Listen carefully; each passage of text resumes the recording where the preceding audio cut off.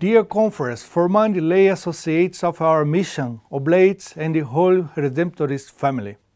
Greetings to you all. We are celebrating the feast of Blessed Gaspar Stangassinger. Gaspar entered to the congregation with the intention of preaching to the gospel to the most abandoned. Instead, his superiors assigned him to train future missionaries.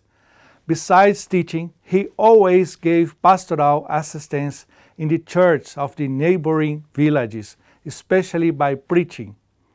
Although verbose, he was always available, especially to the students, who saw him more as a friend than as a superior.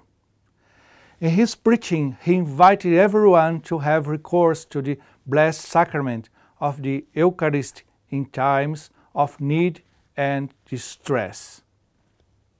On 26 September 1899, at the age of 20 years old, he made his final journey home to the Lord due to illness. On this day, I would like to remember and thank all formators of the congregation. Forming people and Redemptorist missionaries is a hard and beautiful task, an important mission that the congregation asks of each one of you. Courage in this mission. Personal formation, Redemptorist spirituality with its solid foundations, dialogue, listening, and discernment are important for this. Discernment is a very important word, both in formation and it's our missionary and pastoral work.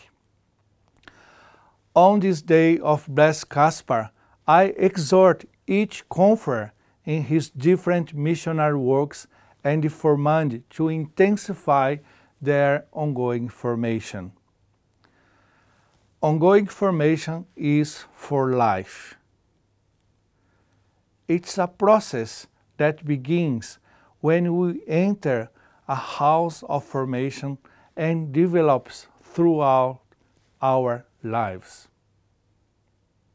From the personal, community, and provincial and vice provincial point of view, as a dynamic of personal conversion, of understanding and deepening of our consecration. Just as a disciple responds to the Lord's calling and then commits his mission to the people of God. Therefore, it goes beyond intellectual academic formation. It touches all spheres of our life. If this is so, the quality of our ongoing formation depends on the quality of our initial formation.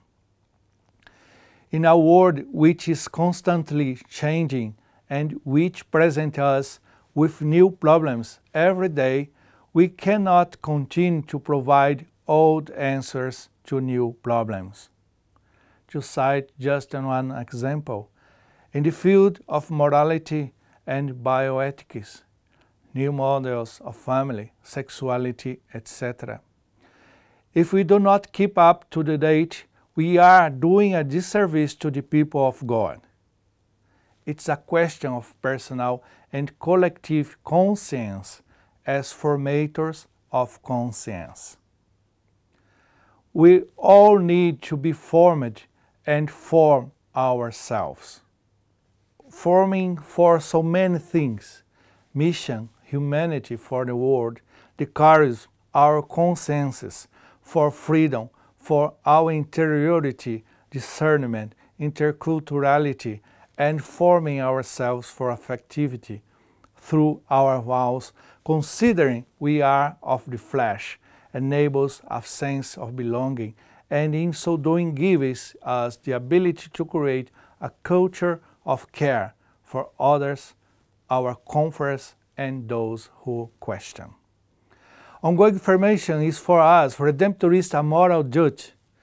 We will not have magic and universal answers, but if we at least acquire the ability to dialogue and listen to our interlocutors, that is already a big step. In his preaching, Stangassinger did not resort to the threats of punishment that were common in the preaching of the time. Rather, he was simple and direct, inspiring the faithful to trust and take the Christian life seriously. If we want to touch people's hearts, we ought to follow Gaspar's example. We must prepare ourselves for this. May bless Gaspar guide us on our path of holiness and our going formation as we, as missionaries, try to serve the people of God.